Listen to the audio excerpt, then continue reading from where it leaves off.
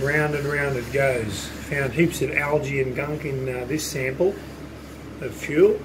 Pumped up more and more and changed it again and look at this, just uh, loads of algae and gunk down the bottom.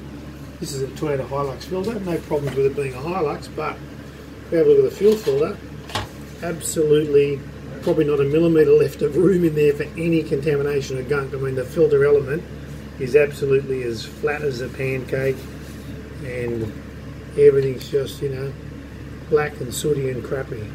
So this probably hasn't been changed for a long time.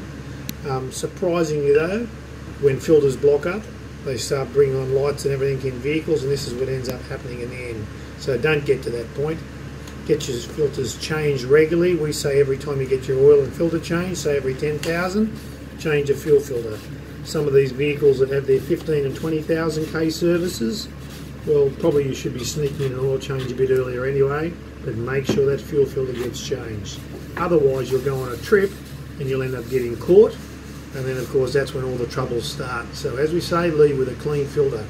Just from earlier, another filter over here, same deal, black as. Guys, just don't let that happen. Make sure you change your diesel filters super regularly. Whether you're fitting pre-filters or whatever you do, make sure you change your filters regularly. That's really the key to this whole issue of fuel contamination with diesels coming down to that.